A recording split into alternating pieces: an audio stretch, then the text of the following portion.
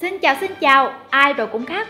Mặc dù không phải tất cả các đàn ông đều lăng nhăng, tuy nhiên có những người dù đang phở đồi mà còn chọn loại phở đặc biệt nữa. Minh chứng cho điều này chính là sự xuất hiện của tớp những nhà chứa dị độc lạ nhất trên hành tinh.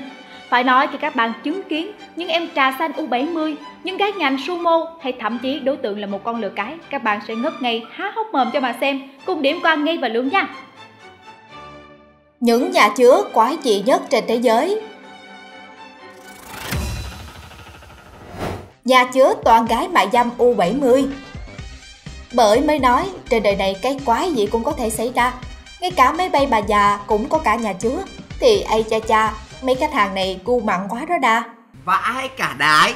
Chắc lâu lâu đổi khẩu vị xíu. Các bạn nghĩ sao? Comment cho mình biết với nha. Sau một khoảng thời gian dài bị người dân phản ánh và lên án ấp ấp đau đau Ngày 26 tháng 6 vừa qua, nhà thầu Silk thuộc thủ đô Tokyo, Nhật Bản bị cảnh sát đánh sập, đồng thời bắt giữ chủ chứa, một số gái mại dâm và tên Marco dẫn khách. Nhân viên phục vụ của nhà thổ toàn là những gái mại dâm có tuổi đời trung bình từ 63, nên đối tượng khách chủ yếu cũng là những người đàn ông cao tuổi. Theo thông tin từ phía cảnh sát, nhà chứa bất hợp pháp này đã tồn tại từ năm 2001 rồi đó các bạn, và hoạt động cho đến tận ngày hôm nay luôn.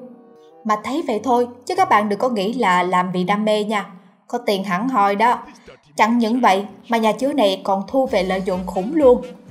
Với 16 phụ nữ từ tuổi 46 đến 73, ông mày dâm gái già này đã đem lại cho chủ chứa hơn 3 triệu USD, khoảng 63 tỷ đồng doanh thu. Wow, sướng thế Để thu hút khách hàng, nhà chứa Silk phải thường đăng quảng cáo trên các tờ báo thể thao buổi tối. Ừ, ừ, báo thể thao. Đáng chú ý nhất, trong đội ngũ gái điếm của nhà thổ U70 là có bà cụ Tamako Buku, 73 tuổi, người gốc Hàn Quốc. Bà này trước đó đã từng bị cảnh sát bắt giữ.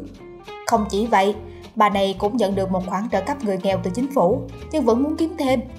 Mặc dù đã ở tuổi gần đất xa trời, nhưng cái mại dâm Tamako vẫn rất trẻ trung và trang điểm loè loẹt để cầu khách đó các bạn. Này là yêu nghề dữ lắm luôn chứ giỡn Đến tuổi đó mà vẫn còn làm được nghề này thì cũng um, nể bà cụ này quá Bái phục bái phục.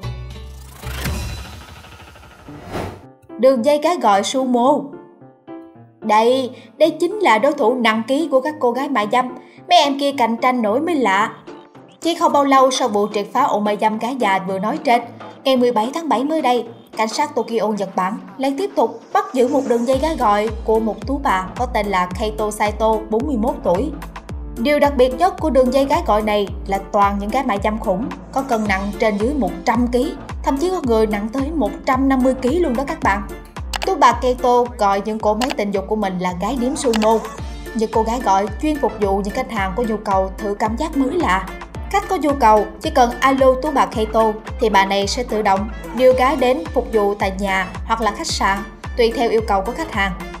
Sau 3 năm điều hành đường dây gái điếm Sumo, tú bà Keito đã thu về khoảng 400 triệu yên, hơn 85 tỷ tiền lãi đó các bạn. What? Hú hồn luôn. Ai nói, ai nói là thân hình quá khổ thì là khổ quá. Cái này phải gọi là sướng quá chứ đùa. Mấy thanh niên này hay, công nhận, mạnh, mạnh mẽ lắm mà để mình kể các bạn nghe cái này luôn. Được biết, trước kia Tú bà Keito cũng từng là một cái điếm mại dâm. Nhưng sau một thời gian hoạt động, bà ta đã chuyển sang làm tú bà vì nhận thấy khách làng chơi có xu hướng thích những người phụ nữ có thân hình mập mạp hơn. Đó là tự thấy mình không đủ mụm mỉm để làm gái mại dâm nên đã chuyển sang làm tú bà cho lành đó các bạn. Tiếp theo sẽ là một đồng mại dâm độc đáo với động vật. Kiếm thêm nhờ nhà chứa lừa cái Wow wow wow, các bạn đã chuẩn bị sẵn tinh thần để sốc chưa? Đây là một thể loại vừa quái đản mà còn được cho phép phát huy và phát triển nữa bí ghê. Thay vì hành vi quan hệ tình dục với súc vật sẽ bị lên án và phạt tù ở thành phố Cartagena, Colombia, nhưng việc sex với lừa là một tập quán truyền thống đã có từ lâu đời đó nha. Wow! Để tăng thêm thu nhập cho người dân, chính phủ cho phép những người nông dân ở vùng ngoại ô kiếm thêm thu nhập bằng cách kinh doanh mại dâm hợp pháp. Có điều, nhân viên phục vụ không phải là người mà là một con lừa cái. Khách hàng của dịch vụ là những người đàn ông độc thân, chưa lập gia đình và là thanh niên, nhất là những chàng trai lứa tuổi dậy thì đó các bạn. Họ cho rằng đây là nét văn hóa truyền thống không gây hại mà còn được bác sĩ gợi ý. What the hell? Uh, really? Ai cho tôi một comment bên dưới đi, chứ tôi là tôi chẳng thốt nổi nên lời rồi. Một bí mật nữa cũng được tiết lộ cho giới truyền thông, đó là bao cao su sẽ không được sử dụng khi sex với lừa, vì chất liệu cao su sẽ gây tổn thương cho chúng. Wow, wow. Đúng, các bạn không nghe nhầm đâu, không tin thì quay lại 10 giây trước để nghe lại nha. Nghe tưởng chừng là một điều hoang tưởng, nhưng đây lại là một nét văn hóa, một sự phát triển về sinh lý rất đổi bình thường tại nơi đây. Hầu hết đàn ông ở Cartagena đều có lần đầu tiên của mình với một con lừa. Họ thích trải nghiệm cảm giác lần đầu tiên với một con lừa hơn là một người phụ nữ đó các bạn. Mình nói thiệt, mình hứa, mình đảm bảo luôn. Tiếp theo thì đã lỡ đi qua những nhà chứa quá đáng rồi thì ngại gì không điểm qua luôn những thiên đường du lịch tình dục nổi tiếng trên thế giới sau đây. Let's go! Gái mại dâm lộng kính ở Hà Lan Hả? Lộng kính? Nghe như búp bê cha meow các bạn nghe Nghe là thấy VIP bà rồi không biết tận mắt thấy thì sẽ ra sao đây Khách du lịch vẫn luôn truyền tay nhau rằng đến Amsterdam mà không ngắm phố đèn đỏ thì chẳng khác nào là du lịch Pháp mà bỏ qua tháp Eiffel vậy. Phố đèn đỏ được xem là một trong những biểu tượng cho lối sống phóng khoáng, tạo nên đặc trưng khác biệt của người Hà Lan. Bởi ở thời điểm năm 1980, khi Hà Lan công nhận mại dâm là nghề hợp pháp, thì các nước ở châu Âu vẫn còn cấm cửa. Đến nay, dù trong 27 thành viên khối liên minh EU châu Âu đã có tới hơn 10 nước công nhận mại dâm là một nghề, thì Hà Lan vẫn được xem là thiên đường của nghề làm mại dâm bởi đất nước này vẫn rất nỗ lực trong việc hướng mọi người có cái nhìn chính xác, văn minh hơn với nghề và người hành nghề mại dâm. Giờ chúng ta cùng ghé qua đó lượm một phát các bạn hen. Đây đây, dọc hai bên đường, trong mỗi lồng kính là một cô gái mặc đồ thiếu vải, rất hấp dẫn. Ánh đèn màu đỏ trong phòng hắt ra, mờ ảo, đầy gợi cảm. Té ra, tên gọi phố đèn đỏ là như vậy. De Wallen là khu phố đèn đỏ lớn nhất ở Amsterdam, nằm tại trung tâm thành phố, dọc theo con kênh thơ mộng như những ô bàn cờ gồm hàng loạt các đường, ngõ hẻm, mà mặt tiền là các lồng kính sang sát thiết kế theo tiêu chuẩn 2 x 3 mét dành cho những cô gái mại dâm khoe hàng và chào mời khách. Oh my god! Wow! Có khoảng 300 lồng kính ở De Wallen. Các cô gái ở đây đủ mọi màu da, quốc tịch, luôn tìm đủ chiêu để thu hút sự chú ý của khách nam.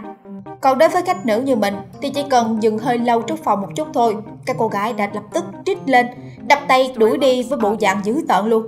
Làm dữ vậy, không cho nhìn thôi. Sững người nghe trẻ em Campuchia mời mua dâm. Mình có anh bạn người nước ngoài tên là Gavin. Anh từng kể cho mình nghe về trải nghiệm dở khóc dở cười khi đi du lịch Campuchia Số là Gavin vừa bước khỏi chiếc thuyền máy tại Siem Reap thì có một cậu bé nắm lấy tay và kéo tới tấm ván dẫn lên bờ.